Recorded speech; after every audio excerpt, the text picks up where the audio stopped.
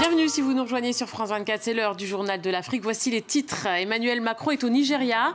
Le président a atterri à Lagos où il assiste ce soir à un concert dans la salle mythique de Fela Kuti. Une occasion de lancer la saison des cultures africaines pour 2020 en France. L'art pour promouvoir le continent, c'est tout le credo de notre invité. Nelly Wanji, bonsoir. Vous êtes entrepreneur. On vous retrouve juste après ces titres. Karim Ouad ne pourra a priori pas se présenter à la présidentielle de 2019 au Sénégal. Il n'est pas autorisé à s'inscrire sur les listes électorales, étape préalable à une candidature. Les détails avec Sarah Sako à Dakar. Et puis le fils de Sophie Petronin, otage française au Mali, tente le tout pour le tout pour revoir sa mère. Il est actuellement au Niger pour essayer d'établir un contact. Dans sa dernière vidéo, Sophie Petronin a appelé son fils à venir la voir. Emmanuel Macron revient au Nigeria en tant que président. Il avait effectué son stage de l'ENA à Abuja, à l'ambassade de France. Mais ce voyage n'est évidemment pas que celui du souvenir. Le Nigeria est le premier partenaire économique de la France sur le continent, grâce notamment à la présence de Total. Emmanuel Macron est au Nigeria pour parler donc économie, lutte contre le terrorisme, mais aussi à Lagos pour parler culture. Il assiste ce soir à un concert au Shrine, salle mythique du roi de l'Afrobeat, Fela Kuti. Et pour cette soirée, il a pris conseil auprès du président Bouhari. Écoutez.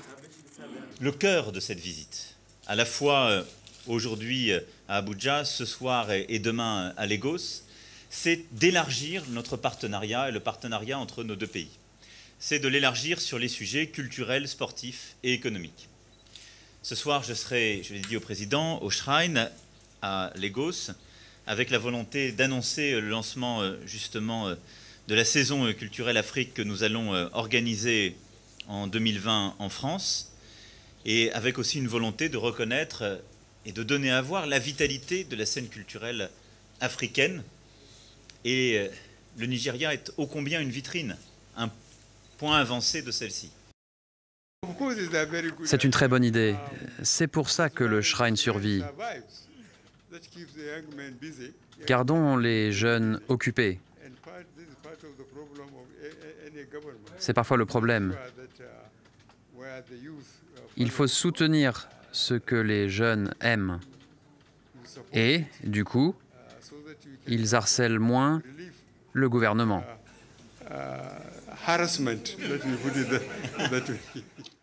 Et on rejoint tout de suite euh, Lagos avec Moïse Gomis. Moïse, vous êtes devant euh, le Shrine. Quel est euh, le programme d'Emmanuel Macron et de son équipe?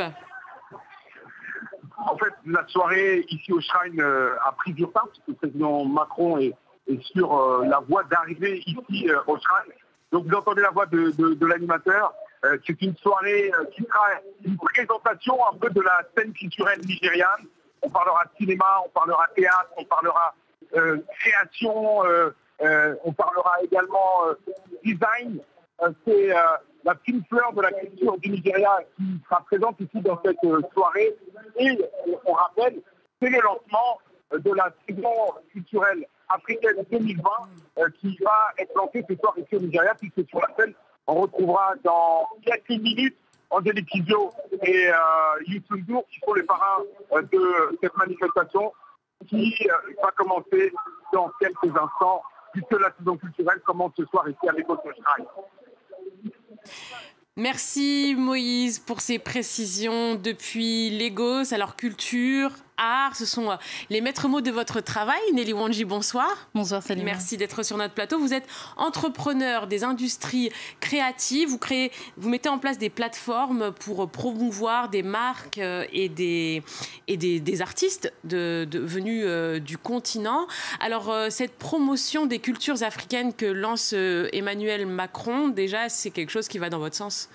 Totalement. Je suis plus qu'interpellée par euh, la démarche euh, de Monsieur le Président Macron de mettre la culture en avant et surtout de la mettre en avant de cette façon très décontractée. C'est quand même une grande première pour un président de la République d'arriver au Nigeria et d'aller au New African Shrine. I mean, c'est vraiment quelque chose de remarquable et je pense que ainsi il va certainement réussir à rapprocher davantage la jeunesse africaine euh, de son agenda.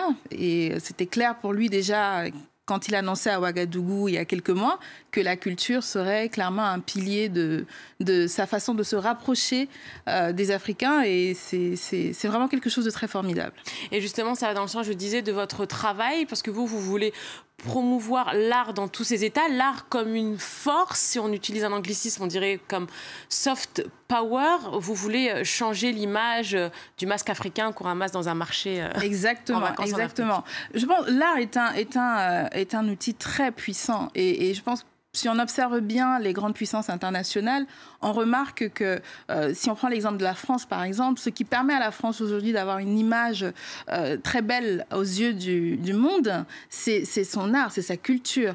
Euh, on retient des grandes maisons françaises, on retient le savoir-vivre à la française, on retient l'avenue des Champs-Élysées. Ça, ce sont les emblèmes qui représentent la France aujourd'hui. Mais quand il s'agit de l'Afrique, on est souvent fermé dans des carcans qui sont loin de, de l'image de l'Afrique qu'on aimerait représenter, de l'image bouillonnante d'une Afrique créative, innovante, euh, qui crée au quotidien des solutions innovantes pour euh, justement euh, permettre une meilleure vie ensemble. Et c'est cela qu'il faut mettre en avant. Donc bon, la saison des cultures africaines que, que lance Emmanuel Macron, c'est pour 2020. Qu'est-ce que vous attendez de cette année 2020 justement? Mais avant d'arriver en 2020, nous, le travail a commencé sur le terrain euh, depuis 2014 que j'ai fondé ma société.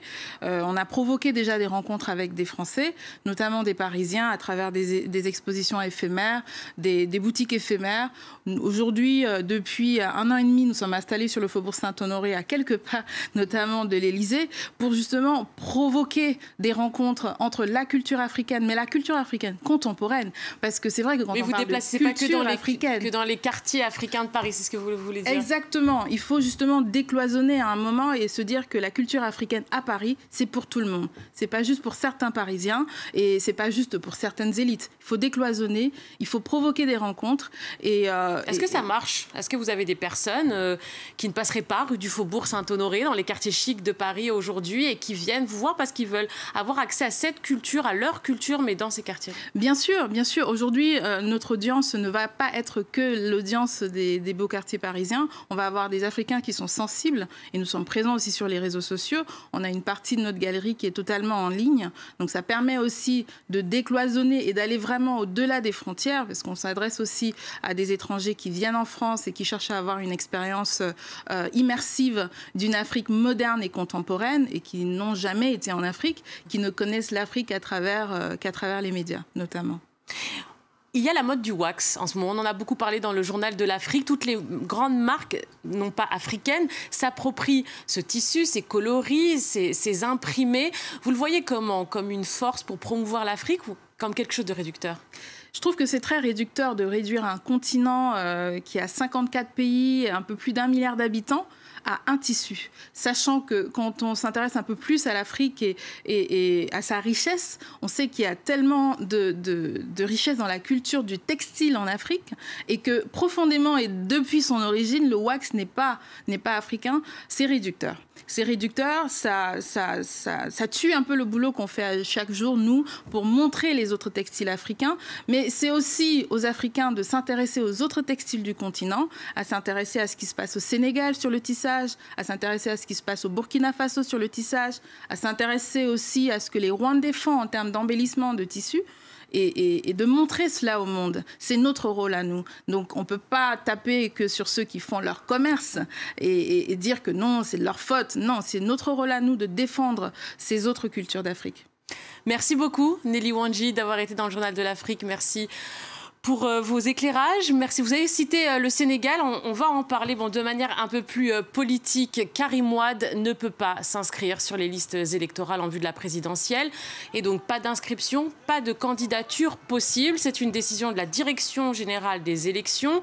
Le PDS, le Parti démocratique sénégalais créé par son père Abdoulaye Wade, l'a pourtant investi pour le scrutin de 2019. On rejoint à Dakar Sarah Sako. Sarah, bonsoir. la raison invoquée dans cette euh, interdiction, c'est évidemment la condamnation dont a écopé Karim Wade. Exactement, Salima. En fait, la Direction générale des élections euh, s'appuie sur un article du Code électoral qui stipule que toute personne condamnée à plus de 5 ans de prison ferme ne peut être inscrite sur son fichier et donc, vous l'avez dit, ne peut être candidat euh, à la présidentielle. Or, Karim Ouad a été condamné en mars 2015 pour enrichissement illicite à une peine de 6 ans de prison ferme et une amende de 200 millions euh, d'euros. Il a ensuite été gracié par le président Macky Sall en juin 2016 et vit désormais en exil au Qatar. Alors cette affaire fait grand bruit ici au Sénégal. Elle a fait la une de toute la presse. Les réactions euh, fusent depuis hier soir et cette sortie de la Direction générale des élections. Le PDS, le parti de Karim Ouad, a donné une conférence de presse euh, cet après-midi à leur siège et il crie au coup de force politique. Selon le PDS, la condamnation de Karim Ouad il y a trois ans ne l'a en aucun cas privé de son éligibilité. Écoutez, maître Amadou Sall il est définitivement établi que Karim Ouad jouit de l'ensemble de ses droits civils, civiques et de famille. Euh, par conséquent, il, il, il doit, s'il le désire, figurer sur la liste électorale. Et j'ajoute qu'il n'appartient pas au ministère de l'Intérieur d'interpréter une décision de justice pour en tirer la conclusion que cette décision de justice empêche Karim Ouad d'être inscrit sur les listes électorales. C'est un coup de force politique. Karim Ouad a 15 jours pour faire une réclamation Karim Ouad a 15 jours pour faire une réclamation auprès euh, du consulat du Koweït euh, où euh, il s'est inscrit. Ses avocats ont d'ores et déjà annoncé qu'ils donneraient une conférence de presse dans les prochains jours, pour dévoiler leur stratégie. Merci Sarah Sako pour vos précisions depuis Dakar. Et une autre actualité qui intéresse le Sénégal, c'est cet accord signé entre la Mauritanie et Dakar, justement en marge du sommet de l'Union africaine. Les pêcheurs sénégalais sont désormais autorisés à se rendre dans les eaux mauritaniennes. Ils pourront pêcher 50 000 tonnes de petits poissons par an. En échange, les Mauritaniens toucheront l'équivalent de 10 euros par tonne tout tenté pour retrouver sa mère. Sébastien Pétronin, le fils de l'otage français Sophie Pétronin, s'est rendu au Niger. Sa mère a été enlevée à la Gao, au Mali. Il s'est donc rendu au Sahel, sur place pour espérer être guidé. Nicolas Germain. C'est une démarche inhabituelle. Le fils de la seule otage française dans le monde est parti dans le Sahel pour la retrouver. Sophie Pétronin, qui travaillait pour une ONG, a été enlevée à Gao, au Mali, en décembre 2016. Dans sa dernière vidéo, cette femme de 75 ans affirme que son fils peut, en toute sécurité, venir discuter avec ses ravisseurs. Le désert, c'est un territoire immense, mais euh, paradoxalement, euh, beaucoup de gens se connaissent et on peut avoir des informations même sur euh, voilà, un territoire qui se situe très loin d'ici. Il quitte Niamey pour rencontrer un homme qui dit être un intermédiaire. Alors on va aller? Oui, si il nous demande de venir seulement, on va y aller. Sébastien Pétronin ne pense pas que le groupe de soutien à l'islam et aux musulmans d'Iyad Agrali, qui la retient en otage, va la libérer, mais il veut connaître leur demande. Bien sûr, j'y vais dans le but d'essayer de la libérer, mais je sais déjà que je ne repartirai pas avec elle. Euh, maintenant, euh, ce qui serait précieux, c'est de repartir avec euh, beaucoup plus d'informations. Pour l'heure, il n'en est qu'au premier contact avec cet homme. Et ramène-moi des nouvelles de ma mère la famille de l'otage estime que le gouvernement français ne l'aide pas assez. Emmanuel Macron avait lui affirmé le contraire. C'était il y a un an à Bamako. Soyez sûr que tous les services de l'État sont mobilisés pour la retrouver, la ramener saine et sauve auprès des siens.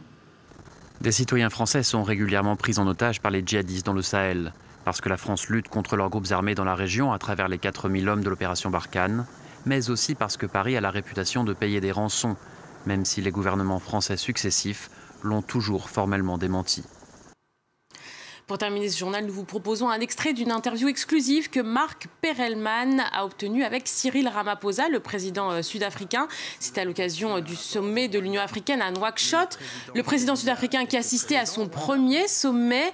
Et dans cet entretien, il est notamment revenu sur les futures élections en République démocratique du Congo. 23 décembre. Je suis le président du CDA. Nous avons reçu un rapport au Rwanda.